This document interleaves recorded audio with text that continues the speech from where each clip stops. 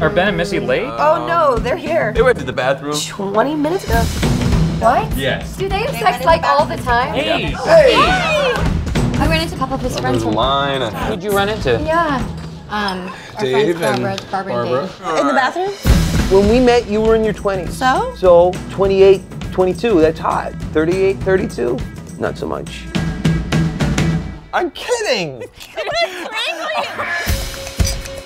Why don't we just do it? What?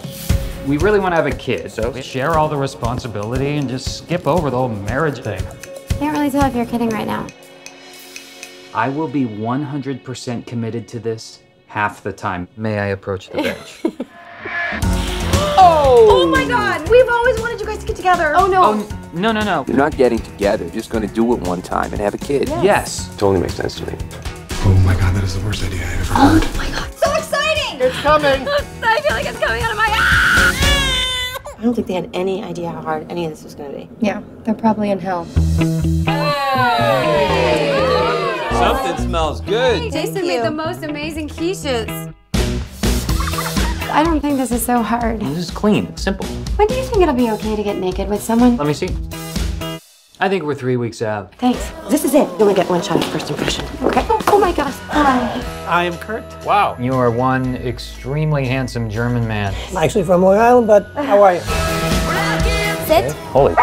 Just go with this. You're gonna hit on me with a baby? Boo. I'm not married. I think I met the girl today. MJ. I've heard so much about you. I have two of your thongs in my apartment. I wash them. Jason Jewell. Not everyone thought that this little arrangement was going to work out. Why didn't you guys ever even try being together? It's Too much familiarity. It's like she's one of my limbs. And that's bad because It was talk.